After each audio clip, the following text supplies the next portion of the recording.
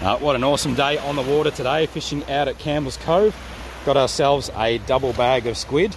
So it was a full moon, pretty sloppy conditions today, so very slow tides. But in 90 minutes, double bag of squid. So there's my 10 there and some pretty decent sized ones. And it means I get to go home early and have the pleasure of cleaning all the squid ink off the kayak. Anyway, guys, have a great day.